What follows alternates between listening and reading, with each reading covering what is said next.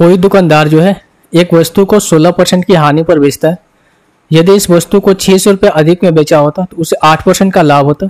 बारह परसेंट का लाभ प्राप्त करने के लिए वस्तु को कितने में बेचना होगा? तो अगर मैं यहाँ पर सोलह परसेंट की फ्रैक्शन की बात करूँ तो ये होता है कितना आपका? चार बटे पच्चीस। करने का ये मतलब ये हुआ कि पच्चीस के सामान को चार कम यानी कि इक्कीस में बेचता है।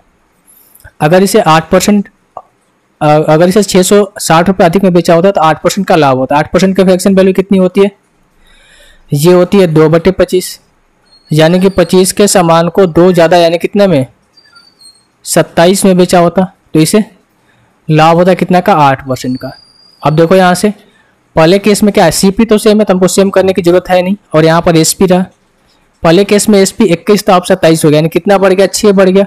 और इस छः के वैल्यू क्वेश्चन के अकॉर्डिंग कितना है? छः सौ छियासठ रुपये यानी कि इसे कितना है? एक सौ दस गुना ज़्यादा है तो जो हमारा क्रेमूल होगा, वो भी इससे एक सौ दस गुना ज़्यादा होगा। और हमसे यही पूछा गया है ना कि बारह परसेंट का लाभ प्राप्त करने के लिए वस्तु को कितने में बेचना होगा? तो सिंपल इसका 12 परसेंट हम निकाल देते हैं, प्रॉफिट, यानी कि 110 गुना पच्चीस के आपका सीपी एस सीपी आ गया। अगर हमें एसपी निकालना है 12 परसेंट प्रॉफिट पर तो 112 बटे में सौ। तो अब यहाँ से जो कटने लायक है, उसको कटा कटा देते हैं। पच्चीस चौ का सौ कटेगा चार बार में। और चार से कट जाएगा क्या? चार दूनी आठ। हाँ चार से कट जाएगा। चार दूनी का आठ और चार आठ है बत्तीस।